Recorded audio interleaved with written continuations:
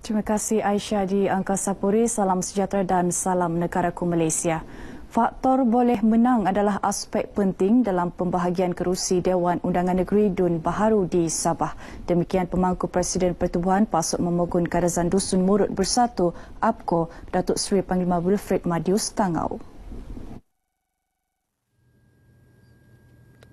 Ketika diminta mengulas mengenai pembahagian kerusi Dun Baharu itu, Datuk Madius yang juga anggota Parlimen Tuaran berkata tidak ada guna parti menuntut satu-satu kawasan baharu jika tidak mempunyai harapan memenangi kerusi berkenaan.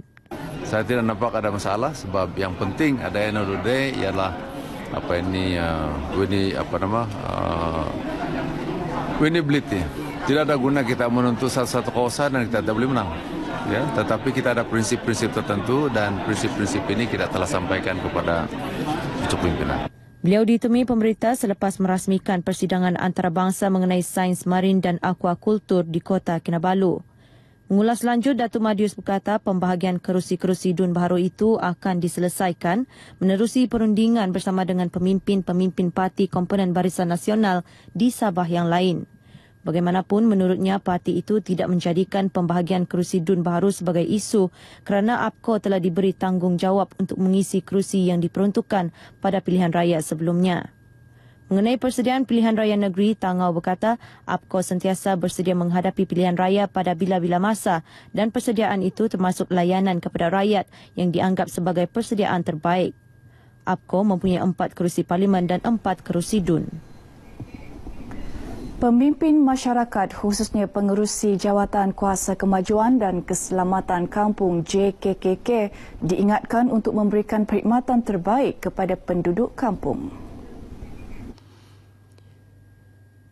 Pembantu Menteri kepada Ketua Menteri Dato' Eldron Alfred Angin berkata, pengurusi JKKK yang merupakan mata dan telinga kerajaan harus melaksanakan tugas dan tanggungjawab dengan penuh jujur serta ikhlas demi kemajuan kawasan masing-masing. Beliau yang juga wakil rakyat kawasan Suk menyatakan pengurusi JKKK juga tertakluk kepada perintah AM dan peraturan yang ditetapkan kerajaan. Justru mereka perlu memberi perkhidmatan cemerlang membela nasib rakyat di peringkat akar undi. Dato' Elron berucap demikian dalam majlis penyampaian watikah pelantikan pengurusi JKKK, Ketua Anak Negeri dan Ketua Masyarakat Cina kawasan Suk di Keningau. Dalam majlis ini 19 pengurusi JKKK, manakala satu Ketua Anak Negeri dan Ketua Masyarakat Cina menerima surat pelantikan masing-masing. Ibu bapa perlu mendidik anak-anak mengenai cara penjagaan gigi yang betul sejak dari kecil untuk kesihatan menyeluruh mereka. Ahli Dewan Undangan Negeri Adun Kawasan Kulu, Dato' Jeniston Bangkuai berkata penjagaan gigi yang betul termasuk membersihkan gigi dengan kerap mampu mencegah kerosakan gigi sekaligus mengurangkan kos rawatan gigi. Beliau berucap demikian ketika merasmikan ceramah kesihatan dan kempen merema darah di Sekolah Kebangsaan SK Giuk Kulu. Sepenuh program tersebut turut jadikan perkhidmatan pemeriksaan gigi para pelajar. Dalam majlis ini, Dato' Jeniston turut menyampaikan sumbangan berus gigi dan ubat gigi kepada 540 murid sekolah dari 10 buah sekolah rendah Mukim Nabalu, Kulu serta bantuan awal persekolahan replika cek bernilai RM4,500 kepada 45 pelajar SK Gyuk. Sementara itu, Guru Besar SK Gyuk, Johannes Jonik ketika ditemui berharap program ini diteruskan pada masa hadapan. Untuk yang bantuan uh, kesihatan gigi itu dia libatkan 10 bas sekolah di zon Nabalu. Jadi kita sangat berterima kasihlah kepada Yang Berhormat Datuk Adunan 11 kilo atas inisiatif untuk memberikan bantuan uh, serupa ini. Saya dapat belajar bahawa gigi ialah di antara organ yang paling mahal. Para ibu bapa yang hadir turut serta mendapat darah dan berpeluang mendapatkan pemeriksaan kesihatan. Seramai 2,218 orang kena pengawasan OKP oleh Agensi Anti Dadah Kebangsaan AADK Negeri Sabah bagi tempoh Januari hingga Mac tahun ini kerana menyalahgunakan dadah. Penolong Pengarah Pencegahan AADK Negeri Sabah Dayang Siti Rohani Sedan berkata, AADK daerah Kota Kinabalu mencatatkan jumlah OKP tertinggi iaitu 608 orang, diikuti Beaufort 385 orang, Tawau 331 orang dan Sandakan 231 orang. Dalam tempoh sama, sebanyak 49 kes penagihan direkodkan AADK Negeri Sabah. Kes tertinggi direkodkan AADK Wilayah Persekutuan Labuan iaitu 28 kes diikuti Tuaran 18 kes, Sandakan 2 kes dan AADK Daerah Kudat 1 kes. Beliau ditemui pemberita RTM selepas wawancara di radio AADK Negeri Sabah sempena sambutan Hari Anti Dadah Kebangsaan Peringkat Negeri Sabah 2017 di studio Sabah FM Kompleks Bersepadu KKMM Kota Kinabalu. Dalam perkembangan sama, Dayang Siti Rohani berkata tahun ini AADK Negeri Sabah akan melaksanakan program perangi dadah habis-habisan di tujuh kawasan iaitu Tawau, Penampang, Karamunsing, Menggatal, Keningau, Beaufort dan Sandakan. Ia akan dilaksanakan secara berperingkat-peringkat bermula di Karamunsing dan Sandakan. Pemilihan ini adalah berdasarkan kepada kes-kes uh, jenayah yang uh, tinggi lah di kawasan tersebut dan juga kita mengenal pasti uh, selain daripada kes dada banyak-banyak uh, banyak juga kes jenayah lain yang untuk kita jadikan uh, apa ni kita jadikan tempat tersebut sebagai kita punya kawasan perangi dadah. Tahun ini, AADK Negeri Sabah merancang untuk melaksanakan 155 kempen kesedaran penyalahgunaan dadah dengan melibatkan pelbagai pihak. Sementara itu, Ketua Sektor-Sektor Pembangunan Kemanusiaan Jabatan Pendidikan Sabah Insinyur Datu Jamigul Haji Datu Salin mahu ibu bapa dan guru-guru sentiasa memantau pergerakan dan pergaulan anak-anak. Langkah itu penting bagi memastikan anak-anak tidak terlibat dengan aktiviti yang boleh membawa kepada kes penagihan dan penyalahgunaan dada supaya perhatikan kawasan-kawasan persekitaran supaya kalau ada yang di sana ada hubungan anak keluar masuk keluar masuk dan ada kenderaan berhenti dan sebagainya itu perhatikan karena kemungkinan-kemungkinan itu akan berlaku ada orang yang cuba mengedar untuk memastikan apa menjual dada di sekolah. Pihak sekolah juga perlu melaksanakan program penerangan mengenai penyalahgunaan dada selama lima minit dalam bilik darjah setiap hari selain melengkapi ruang pameran dengan penerangan mengenai bahaya dada. Yayasan Dakwah Islamiah Malaysia Yadim Sabah sentiasa proaktif mendekati masyarakat Islam yang memerlukan khususnya di luar bandar. Pengarahnya Haji Samin Ongki berkata antara pendekatan yang digunakan ialah mengadakan sesi perbincangan, penyerahan bantuan dan ceramah yang dilaksanakan melalui program khidmat komuniti di kawasan terpilih. Program berkenaan membolehkan Yadim dapat mengenal pasti bantuan serta perkhidmatan yang diperlukan masyarakat Islam di luar bandar termasuk berkaitan akidah serta pengurusan masjid dan surau. Melalui program program khidmat komuniti seumpama ini, kita dapat membantu mengetahui uh, apakah masalah yang dihadapi oleh masyarakat di suatu tempat dan kita membantu dengan menyampaikannya kepada kerajaan ataupun pihak berwajib. Haji Samin bercakap kepada RTM dalam program khidmat komuniti di Pulau Banggi, Kudat. Mengenai program ini, katanya, Yadi menggunakan konsep dakwah lebih santai mengikut kesesuaian dan kecenderungan penduduk di sesuatu tempat agar lebih mudah diterima dan memberi kesan yang lebih baik. Satu majlis himpunan belia akan diadakan di Kompleks Sukan Keningau pada 3 April depan. Program yang julung kali ini diadakan di daerah Keningau itu bertujuan memberi peluang kepada generasi Y mendekati para pemimpin.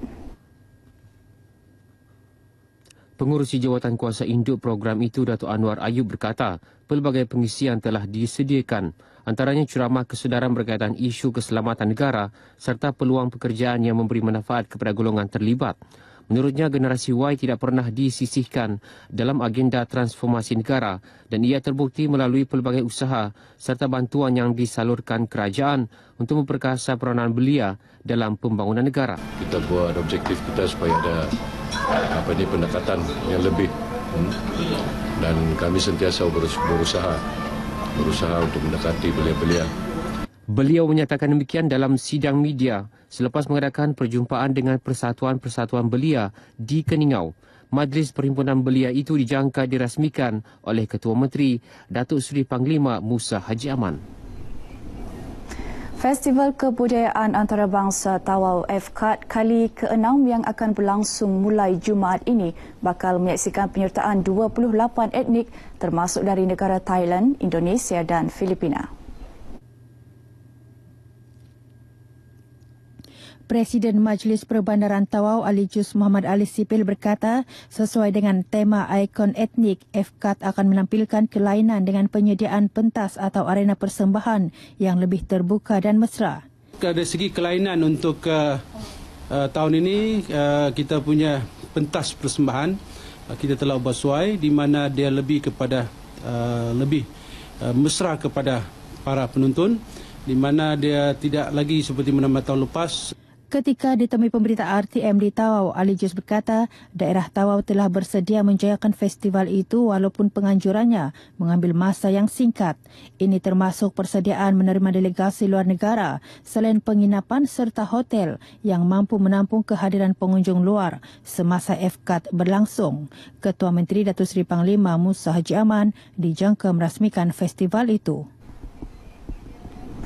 Program Tahun Melawat Kudat 2016-2017 terus disokong pelbagai pihak. Antaranya pelajar Kolej Vokasional yang mengadakan Karnival Sukan Kolej Vokasional Voktek Sabah 2017 di Kudat sambil melawat tempat-tempat menarik di daerah itu. Lebih seribu pelajar kolej vokasional dari Sabah dan wilayah Persekutuan Labuan akan berkampung selama lima hari bagi menyertai Karnival Sukan Woktek antara kolej vokasional di Sabah dan Labuan. Mereka juga berpeluang melawat tempat-tempat menarik khususnya Tanjung Simpang Mengayau. Karnival Sukan Kolej Vokasional Sabah 2017 juga mampu menjadi landasan menjalin persahabatan antara pelajar kolej vokasional. Ah, Simpang Mengayau. Ah, sebab situ tarikan pelancong. Ah. Selain tu? Selain tu, nak tahu lagi. Sebab belum pernah datang sini. Tempat membuat gong. Ah, membuat madu lebah. Eh, madu lebah. Ah. Situlah kampung-kampung yang unik di Kudat ni. Dapat berbincang projek apa mau buat sebab sama juga kan tahun akhir ada projek tahun akhir kami setiap setiap anu akhir tahun ni. So harap dapat sharing lah sama orang. Antara acara yang dipertandingkan ialah bola sepak, bola jaring, bola tampar dan rugby. Karnival sukan berkenaan dirasmikan Naib Ketua UMNO Kudat Akran Haji Ismail. Kita ucapkan tahniah kepada kolej vokasional dalam secara kebetulan dalam program Boktek ini dan uh, secara amnya peserta-peserta yang datang daripada seluruh Sabah. Dan secara kebetulan pada tahun ini 2016-2017 merupakan tahun melawat ke Kudat. Program ini bukan sahaja mampu menjalin interaksi sihat antara pelajar terlibat, malah menjadi gelanggang mencari bakat sukan yang boleh diketengahkan ke peringkat lebih tinggi. Baik, seterusnya kita ikuti peristiwa yang berlaku di Sabah dalam diari hari ini.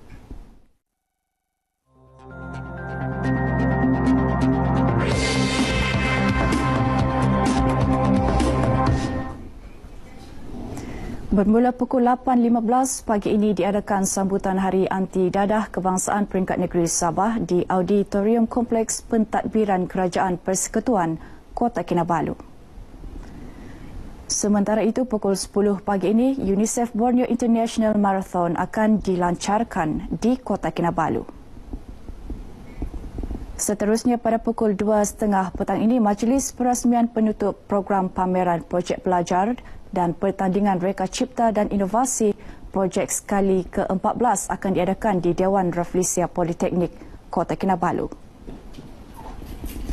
Pada masa yang sama, Majlis Penyampaian Watikah Pelantikan Lembaga Penasihat Dewan Bandaraya Kota Kinabalu DBKK diadakan di Dewan Mesyuarat DBKK.